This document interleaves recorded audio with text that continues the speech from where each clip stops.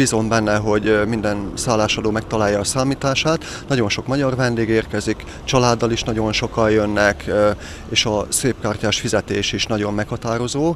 Én azt gondolom, hogy talán olyan 50% körül mozog a magyar vendégek körében.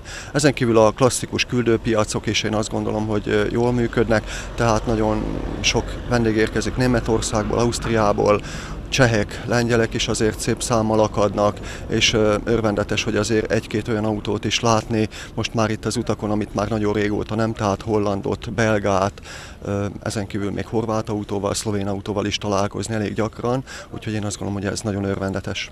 Nagyon sokat hallunk arról, hogy a szállodákban csökkent az orosz vendégek száma a szobakiadóknál. Tapasztalható-e valamiféle csökkenés? Voltak-e egyáltalán orosz vendégek az előző években? Igen, elég sok szállásadónál jelentkeztek ezek az orosz vendégek. Én azt gondolom, hogy talán stagnálhat a létszámuk itt a megbeszélések szerint. Mm, örülünk neki, hogy a magyar vendégek tudják azért pótolni, főleg ilyenkor szezonban őket. A szobakiadók számára fontos, hogy vannak partnereik, akiken keresztül természetesen a vendégeknek kedvezményt tudnak biztosítani. Ebben az egyik legfontosabb talán a tófürdő belépőjegy. Mennyire népszerűek ezek a belépőjegyek idén? Igen, hát nagyon örvendetes, hogy több mint 40 partnerünk van, aki a szobakiadós kulcstartóra általában 10%-ot ad, de van, aki több mint 20-at, 20-25-öt is.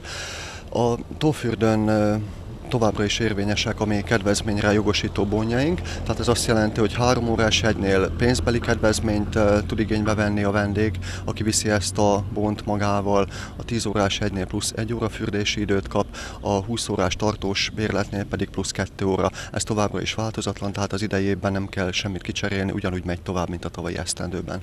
A szobakiadók vendégei számára egy kis meglepetés, hogy a szövetségnek is van bora, nem csak Hévízvárosnak. Ez tényleg régebbi a szövetségi bor, mint a városé?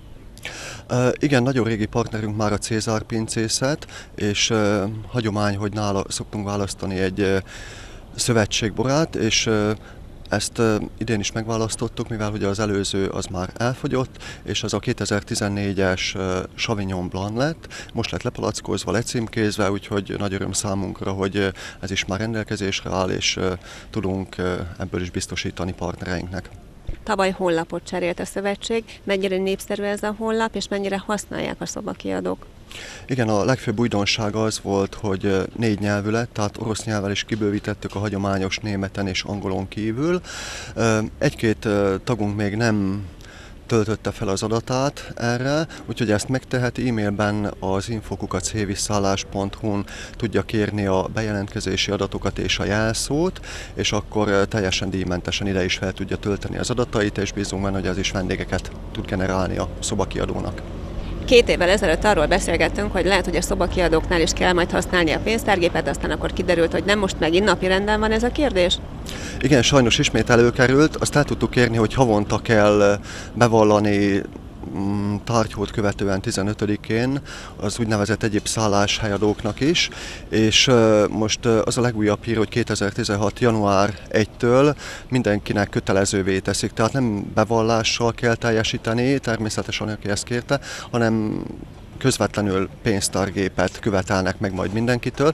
Hát mi abba bízunk, hogy azért sikerülni fog ezen lazítani majd nekünk. Nagy öröm számunkra, hogy Horváth Orsi, a TDM Egyesület elnöke bekerült az Országos TDM Szövetség elnökségébe, és együttműködéséről biztosított ő is minket, úgyhogy reméljük, hogy együtt a Fatosszal, a Mosszal sikerülni fog mindent egybevetve, milyen lesz ez a szezon, hogyha majd visszanézünk szeptember környékén, hogy gondolja?